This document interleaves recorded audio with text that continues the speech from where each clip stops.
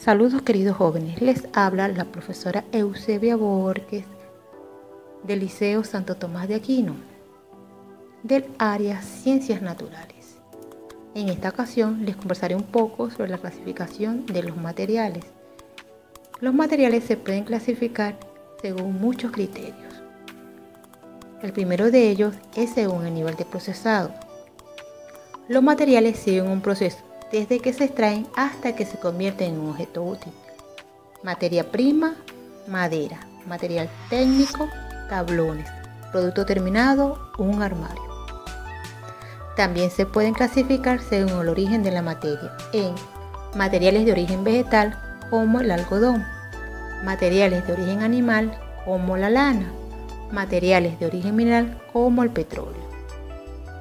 Otra clasificación es según el tipo de material. Materiales pétreos provienen de piedras o arenas de la naturaleza. Materiales plásticos provienen del gas natural o del petróleo refinado. Materiales metálicos se extraen a partir de óxidos que se encuentran en la naturaleza. Materiales basados en madera están hechos de madera maciza o de derivados de la madera prensada. Materiales textiles. En este grupo se, agrupan desde las telas usadas en ropa, muebles, un balón de cuero hasta la vela de un barco. Y por último, la clasificación según el impacto en el medio ambiente. Se clasifican en materiales renovables y no renovables.